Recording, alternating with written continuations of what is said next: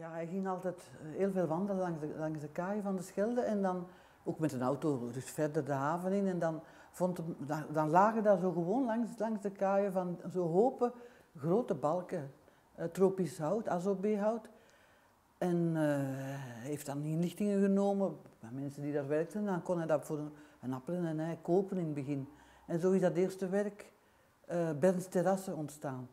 Hij noemt dat zo omdat dat een plek is vlakbij zijn atelier. Hij ging daar altijd wat in de zon zitten. Dat is zo'n een, een hoek aan, aan- waar vroeger de geul was, een doorgang naar de, naar de, binnen, naar de binnendokken. Dus, en ja, hij is dan begonnen met dat één werk en dan is er oh, tamelijk vlug, geloof ik, Temse gekomen. En dan ook, de, ja, dat was dan jaren later Middelheim, dat was met Antwerpen 93. Maar het was eigenlijk met er heel lang naar te kijken dat hij wist wat hij ervan ging maken.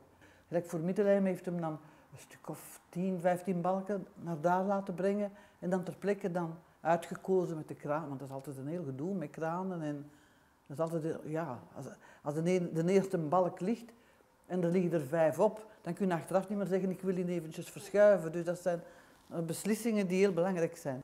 Ja, dus die plek in Middelheim, daar heeft hem eh, het geluk gehad van, van te mogen kiezen toen de, de andere beeldhouwers nog, geen, nog, niet ter plekke waren. En eh, daar was de enige plek waar eigenlijk een de- denivelatie was. Je hebt de balken die waterpas zijn. Hè? En dan heeft hij zo'n constructie gemaakt, doordat die, dat die punten dus eigenlijk ho- omhoog komen.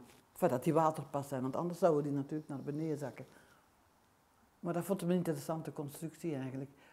En ik heb me ook dikwijls verwonderd waarom dat dan geen, van voor niet één grote zware balk was, maar zo allemaal kleine balken. Maar hij hield eigenlijk van een beetje chaos ook.